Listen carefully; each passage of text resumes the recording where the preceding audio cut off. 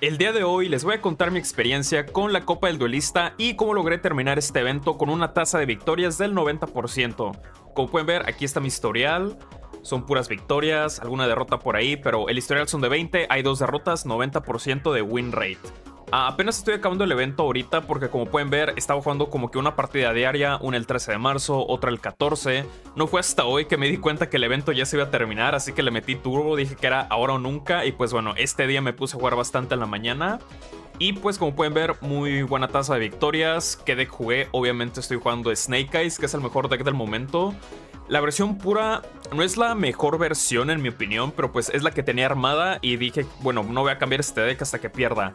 Ah, si quieren dominar la segunda parte del evento, que pues es para clasificar al mundial y eso, les recomiendo esta versión que acaba de compartir Tazuku. Es la versión Kashtira. Ah, bueno, si no lo saben, Tazuku es de los mejores jugadores de Master Duel, es de los que topea más seguido en, las copas del, duelista y eso. Y pues esta versión de Kashtira es parecida a la que ya les había traído al canal. Solo que esta versión no está jugando el Fenrir, no está jugando el Riceheart, no está jugando las cartas de extra deck. Es una versión que solamente está utilizando al unicornio porque pues bueno, es un cuerpo gratis que puede baitear algunas hand traps. Y si no las baitea, pues bueno, es material de Link gratis, ya que pues bueno, lo puedes utilizar como material para un Link, lo revives con la Kashtira Beard. Y ya tienes pues maneras de quitarle cartas del extra deck al oponente que en este formato quitarle Gita, quitarle Princesa, tiene demasiado impacto. Entonces este deck es una muy buena versión. Igual de todas formas, aquí está el deck de un ya se la saben, voy a copiar el link eh, para ponérselos en la descripción para que copien y peguen este deck en su Master Duel. Y bueno, vamos al carta por carta súper rápido porque es un deck que estoy seguro que ya están cansados de verlos y de seguro ya saben cómo funciona. A 3 Bailers, 3 Maxi, 3 Ash y 3 impermanencias. Son 12 hand traps. Es un, es un muy buen número de hand trap, muy estándar. Son las hand traps de más alto impacto ahora mismo. A Nibiru no me gusta tanto porque el deck Snake Eyes puede jugar muy bien alrededor de él. Y los otros decks, pues bueno, son decks que no se los vas a poder activar. Por ejemplo, el Branded, el Labyrinth. O decks que pueden jugar bien alrededor de él, como es el Snake Eyes, el Super Heavy Samurai y pues el Manadium, ponle que sí batalla un poquito con él, pero con las nuevas cartas que tienen te pueden dejar Barón como su gente invocación y pues bueno, Nibiru ahí está troleando. A la versión de Tazuku sí juega Nibiru. Honestamente, desconozco su razonamiento. Digo, tener uno como target de crossout es bueno. Puedes jugar más tranquilo alrededor de él. Pero les digo, en mi opinión, el Nibiru ahorita pues no es muy bueno.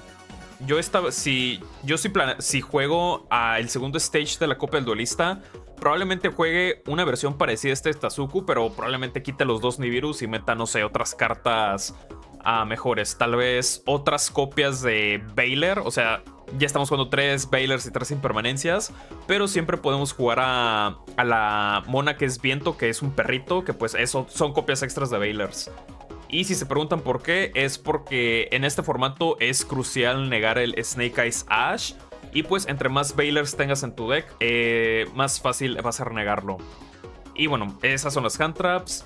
De los Snake Eyes, pues lo más estándar. Estamos jugando el Snash, el Poplar, una copia del Oak, una copia del Birch, que honestamente pueden quitar. Pueden quitar el Birch y meter otra hand trap o alguna otra carta que les guste. Por ejemplo, la tercera triple T, tal vez una Trust, etc.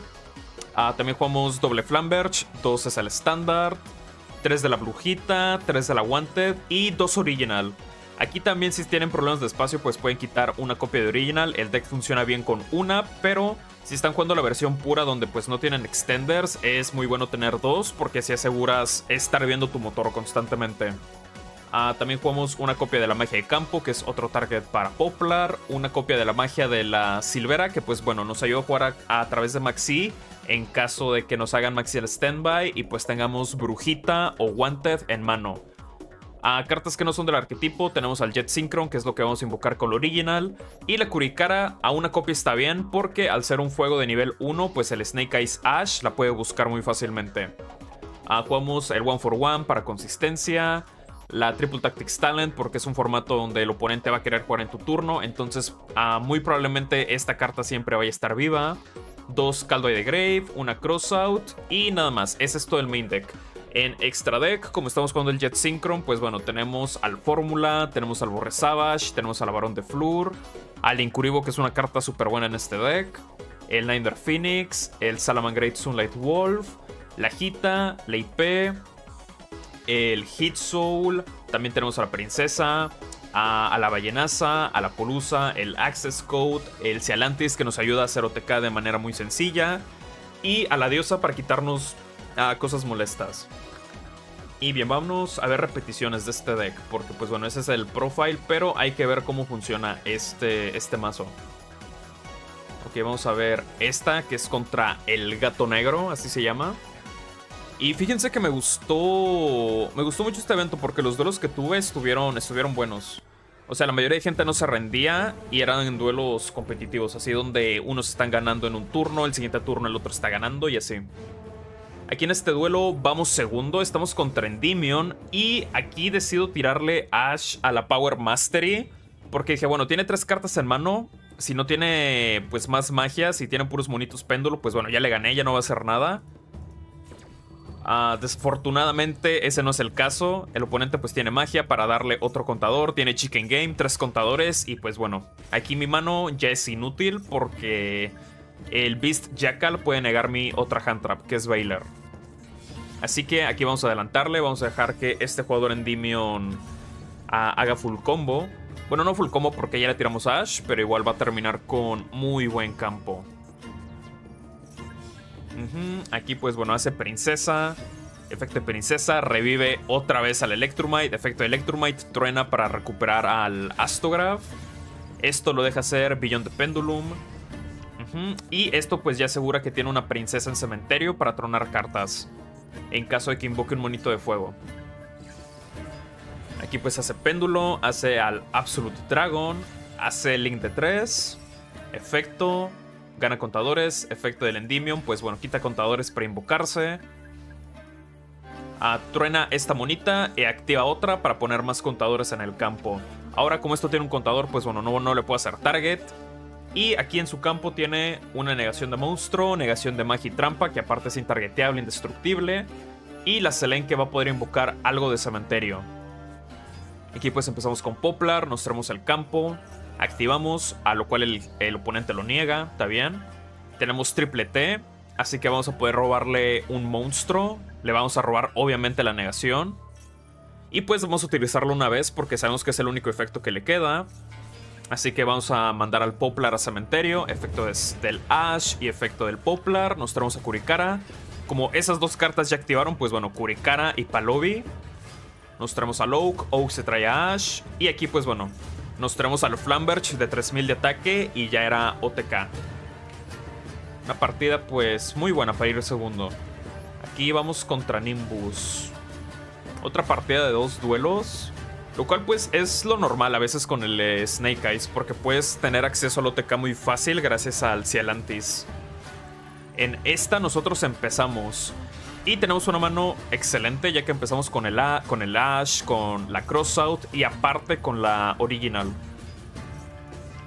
Aquí pues bueno, vamos a hacer normal del Ash, va a buscar a Poplar, Poplar como fue buscado se invoca y como se invocó pues puede buscar la magia de campo que a su vez se va a traer al Flamberge que si esto no lo saben es la forma de jugar a través de Nibiru de este deck. De hecho creo que en este duelo nos hace Nibiru. Así que pues bueno, se va a poder ver eso. Aquí pues efecto del Snatch. Nos traemos al Oak. Aquí le vamos a hacer cross de la impermanencia. Aquí, a ver, espérenme. Aquí una disculpa, déjenme en las replays. Vamos a... Vamos a esconder las descripciones de las cartas, a ver. Porque, o sea, siento que hay bastantes cosas en pantalla y pues bueno, a veces es como que molesto, ¿no? Animación, currents, card effects. Ah, vamos a hacerlo así de one time nada más. Display player name, carta report, hide. Y esto vamos a esconderlo también. Ok, creo que sí ya está bien. Creo que así se va a ver más limpio la repetición. Ok, le negamos la impermanencia. Aquí les digo, el oponente nos hace Nibiru, se deshace de todos estos, pero como tenemos la magia de campo, vamos a poder invocar a Flamberge. Aquí pues bueno, podemos hacer IP. Efecto de Flamberge. Invocamos al Oak, también al Jet. Hacemos princesa, efecto de la princesa. Nos traemos al Flamberge. Y pues bueno, hacemos a la ballenaza. Y terminamos en este campo que no parece mucho, pero bueno, es IP que se va a poder que se va a poder convertir en Apolusa. El Flamberge va a invocar dos. Tenemos Princesa en Cementerio y dos Hand Traps. Aquí el oponente está jugando Snake Eyes también, pero tenemos la Baylor. Él tiene la Calvai, pero tenemos la Impermanencia, así que se queda sin efecto del, del Ash.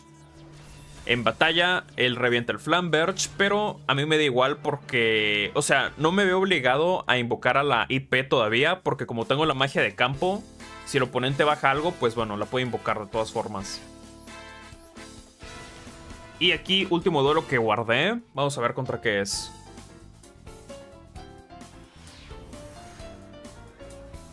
Ok. En este duelo vamos segundos. Tenemos una mano buena. Tenemos Maxim, Permanencia, Ash, Kurikara.